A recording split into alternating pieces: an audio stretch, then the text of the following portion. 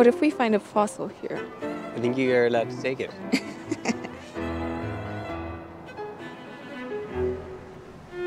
My name is Anastasiya Magamedova. I'm 24 and I'm a pianist. And I'm Johannes Gray. I'm 25 and I'm a cellist. So we met in Paris just more by chance. I guess we weren't looking to form a duet at all, a Yeah. duo. From the very beginning, we we really felt each other, and there were a lot of things that did not need to be discussed. We agreed on many aspects of how to interpret a certain piece, and we understood it in a similar way. But I think we've developed quite a bit in the past three years that we've worked together, and we listen to each other much more carefully.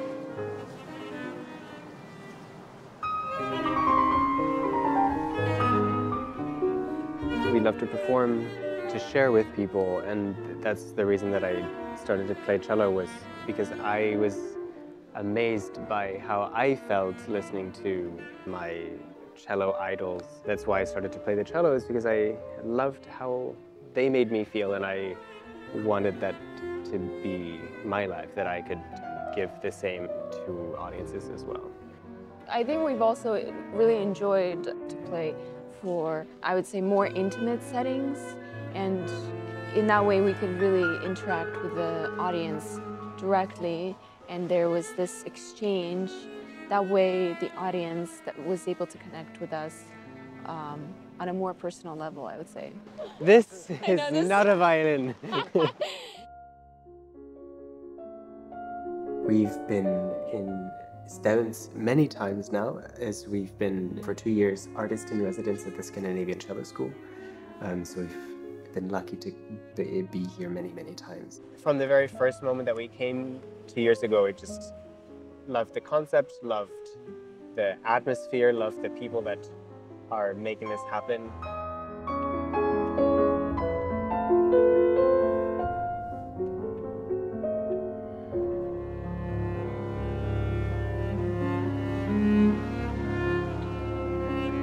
At this point, I don't like playing pieces, you know, just because they're required or just because it's standard repertoire. I really want to find a piece that I'm in love with and that I am interested in bringing to the audience and making them love it just as much as I do.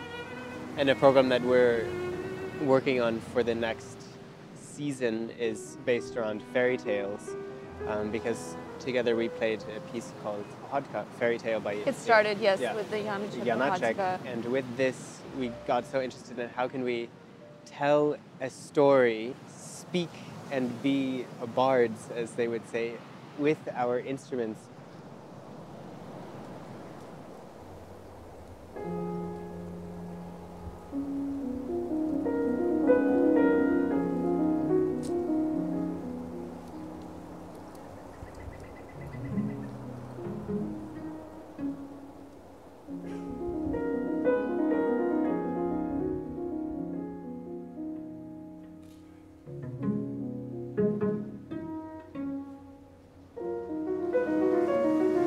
I think as children we both loved We fairy both tales. love fairy so tales as children. then yeah. to allow ourselves somehow to continue telling these stories and listening to these stories is a very nice way to do it. fairy tales, it has a sort of magical sense to it. And I think it also captures the attention of audiences of all ages. It becomes interesting to them.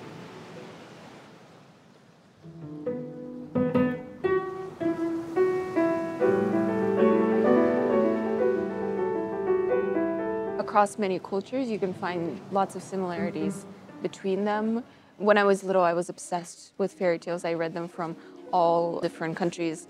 And then I caught myself realizing that, you know, these Danish fairy tales, they're actually very similar to the German fairy tales. And then these Persian fairy tales, they, they kind of repeat the same themes. They have the same idea that they're trying to get across.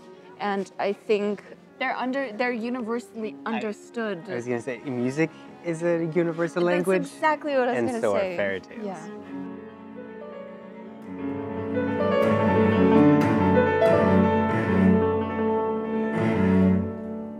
One last detail that we really would like to develop is a new commissioned work by a composer from Tajikistan, Dalipur Shahidi, and uh, his wife is a writer and she writes fairy tales. So we think it would be a really wonderful addition to our program, a new work based on newly written fairy tales that culminate the completion of this project.